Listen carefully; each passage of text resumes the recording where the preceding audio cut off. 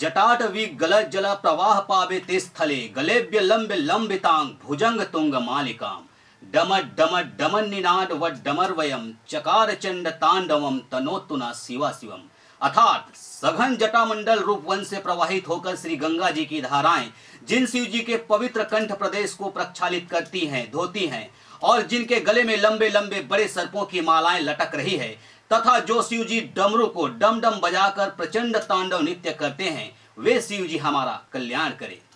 नमस्कार, मैं हूँ मुकेश शर्मा और आप देख रहे हैं एशियन 24 सावन का पहला दिन है और सावन के पहले सोमवार की आप सभी को ढेरों शुभकामनाओं के साथ एक बार फिर से स्वागत है एशियन 24 पर।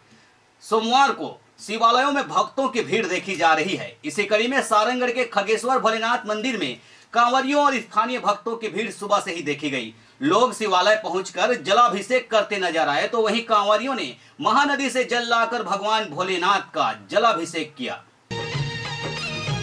सावन माह के सोमवार का विशेष महत्व और मान्यता को देखते हुए शिव मंदिरों में शिव पूजा करने भक्तों का तांता लगा रहा। सारंगढ़ के विभिन्न शिव मंदिरों में शिव भक्तों ने भगवान भोलेनाथ की पूजा अर्चना कर जल चढ़ाया और भजन कीर्तन कर भगवान शिव की महिमा का गुणगान किया। सारंगढ़ के श्री खरगेश्वर शिव मंदिर में भक्तों की काफ़ी भीड़ देखी गई और सभी शिव भक्तों ने सुबह से ही भगवान शिव की पूजा अर्चना कर सुख समृद्धि की कामना की।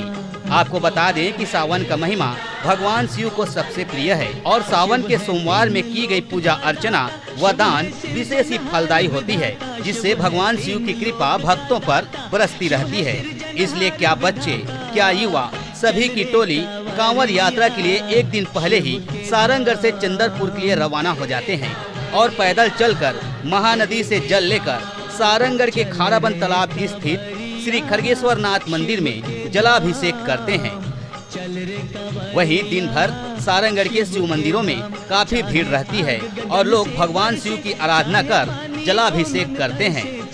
कुल मिलाकर भक्तों द्वारा मंदिरों में की गई आराधना व शिव भक्ति से सारंगढ़ का माहौल शिवमय हो गया। ब्यूरो रिपोर्ट एसीएन 24 को मन तरसे, चल रे कांवरिया। शिव के खबरों का सिलसिला लगातार जारी है देखते रहिए एशियन 24 नमस्कार।